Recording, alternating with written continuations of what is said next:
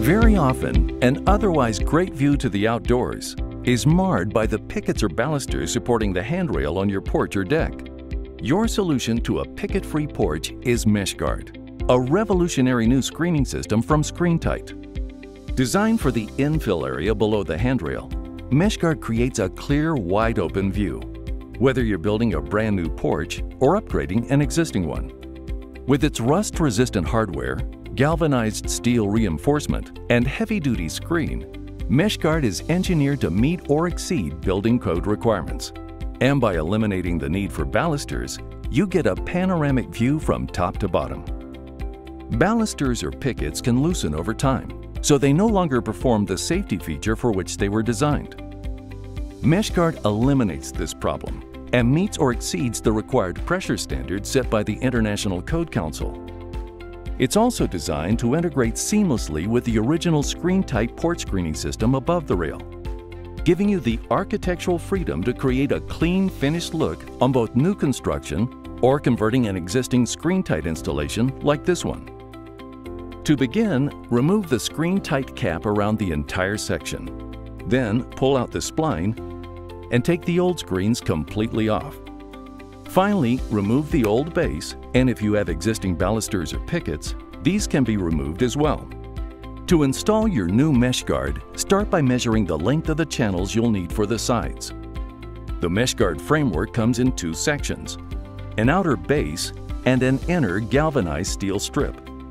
The base is made out of a rigid PVC polymer and it's easily shortened with a cutting tool.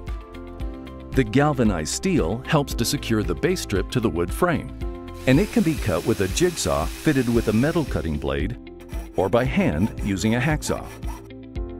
The steel strip must be placed inside the MeshGuard base when installing. The steel must be anchored within 2 inches of the ends so you may need to drill a hole in the metal strip in order to insert the screw. Once you have the vertical channels installed, measure and cut for the horizontal ones. There's no need to miter the corners. Just attach the MeshGuard base and steel strip to the porch frame with number 6 by 1 and a quarter inch screws.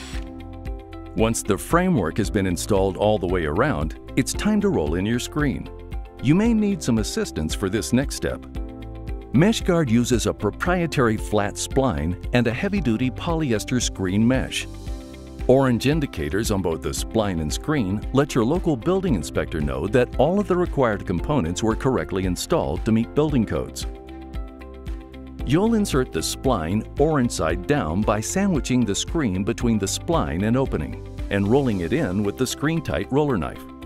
Start at the top left corner and continue all the way across, making sure to keep the screen stretched and even as you go.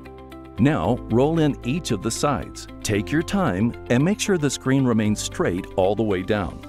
If you have to make adjustments, just pull out a section of spline, reposition, and roll it in again. The surface of the screen will tighten as the spline is rolled in. Now, finish off the bottom section. Once the screen has been properly installed and there are no sags or creases, trim off the excess screen with a utility knife. ScreenTight caps come in four colors, and no painting is required. Simply position the cap over each channel, cut to fit, and tap it into place with a rubber mallet. If you're installing the original ScreenTight system above the rail, the cap installs onto the base of both systems for a seamless finished appearance. Now you can enjoy a safe, unobstructed view without pickets or balusters, while keeping insects and unwanted pests out.